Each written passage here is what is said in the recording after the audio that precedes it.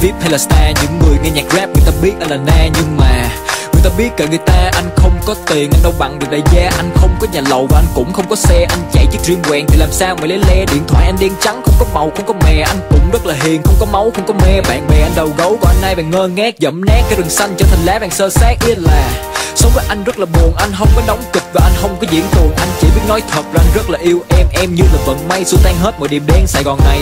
Đường nào nó cũng đẹp nhưng đẹp nhất vẫn là con đường dẫn qua nhà em lại vui khi người ấy cho ngàn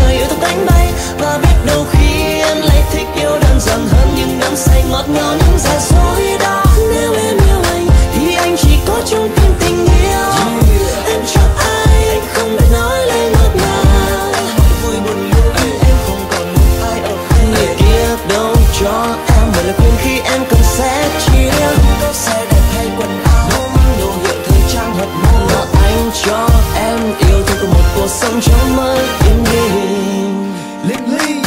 Anh không qua nổi bất khiến em chú ý đến anh. Nhưng mà có những thứ anh nói ra sẽ làm cho em phải tin rằng anh rất đáng yêu mà không giống như để yêu rất bí bí như người ta anh không biết nói bao lời hoa mỹ kia. Anh là người chân thật là anh không lòng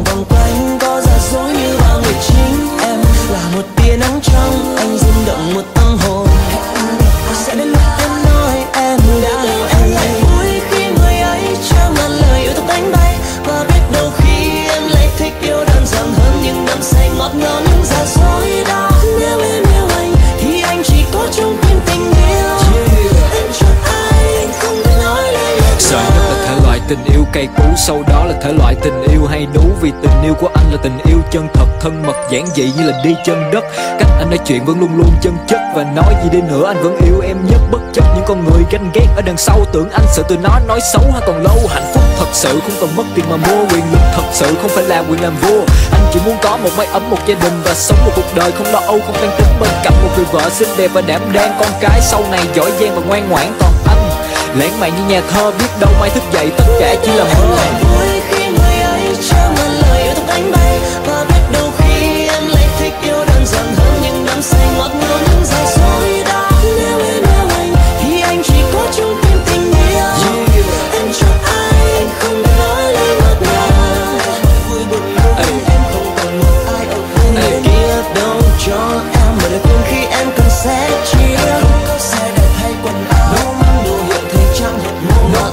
Cho em yêu thương của